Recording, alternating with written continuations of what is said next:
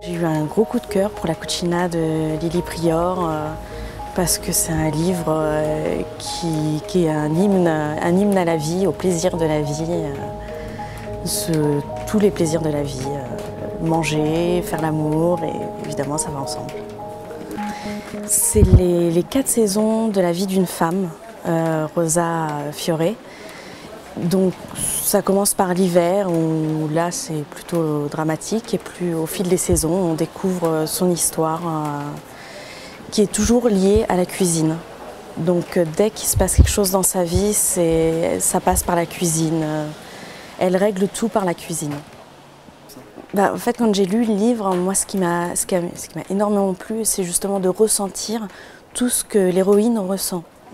C'est on, on goûte les plats, on, goûte l'homme même, euh, on, sent les, plats qu'elle prépare, euh, on, réagit en même temps qu'elle. Et l'auteur a su, euh, justement grâce à des descriptions simples mais pertinentes, tout, est décrit et justement ce qui, plaît, ce qui m'a plu dans ce livre, c'est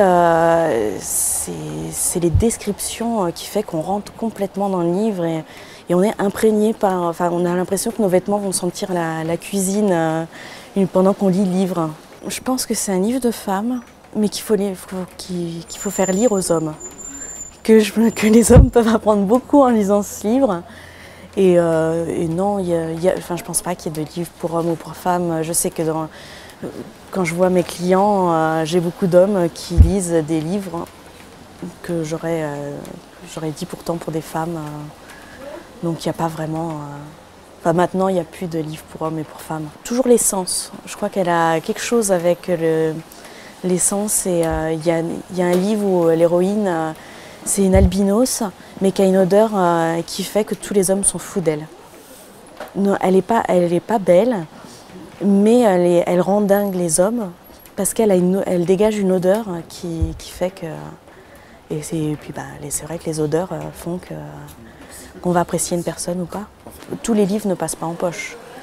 Ça, permet aux livres de ne pas être oubliés. En général, les grands, les grands formats, on oublie les livres. Ils ont une durée de vie d'un an, un euh, grand maximum. Après, quand ça passe en poche, euh, ça a une durée de vie euh, beaucoup plus longue. Et oui, ça doit être une consécration. moi, si j'étais auteur, je serais fière d'avoir mon livre qui passe en poche.